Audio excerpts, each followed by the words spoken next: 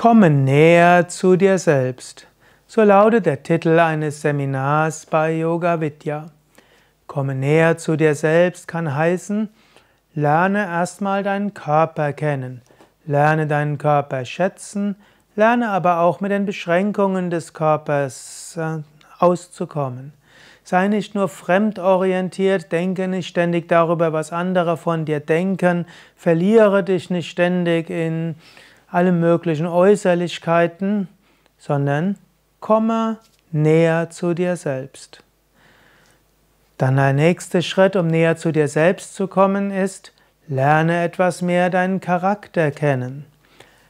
Schaue vielleicht ganz äh, unvoreingenommen, bist du eher Vata, Pitta oder Kapha-Typ? Ein luftiger Typ, ein feuriger Typ, ein erdiger Typ. Komme näher zu dir selbst, schaue vielleicht, wie würdest du dich äh, einschätzen nach dem DISG-Modell.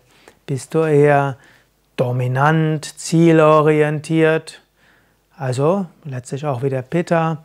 Bist du mehr I, initiativ, leicht und voller Freude und willst vieles ausprobieren, was auch wieder Vata ist.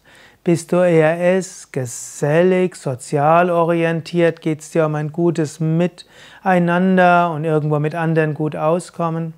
Oder bist du gewissenhaft, jemand, dem sehr wichtig ist, dass alles seine Ordnung hat, seine Regeln hat und dass man alles sehr gründlich macht?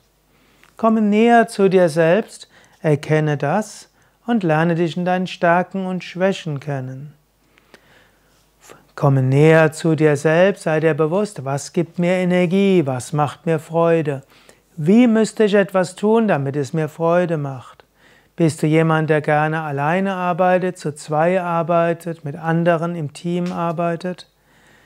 Bist du jemand, der zyklotymes Temperament hat, himmelhoch jauchzen zu Tode betrübt? Bist du eher introvertiert, extravertiert? Jetzt wären wir praktisch im Fünf-Faktoren-Modell. Bist du eher ein verträglicher Mensch, ein unverträglicher Mensch, der mit anderen schnell streitet? Bist du psychisch stabil oder psychisch labil?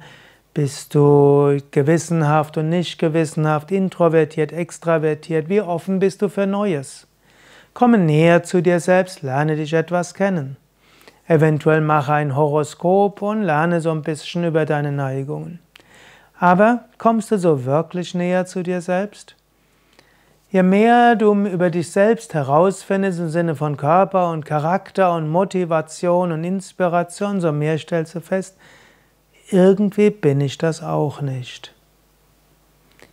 Letztlich ist Körper und Psyche nur Instrument, Hüllen, wie es auch im Yoga heißt, Kosha. Du selbst bist jenseits der Koshas. Komme näher zu dir selbst heißt letztlich meditiere.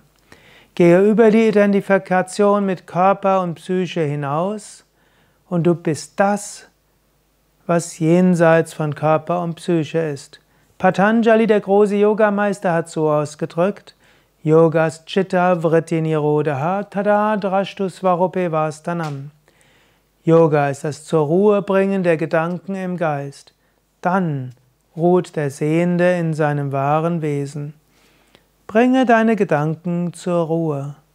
Dann ruhst du in deinem wahren Wesen. Komme näher zu dir selbst heißt, identifiziere dich nicht mit Körper, mit Psyche, mit Wünschen und Temperament. Erfahre dich als reine Seele, reines Bewusstsein.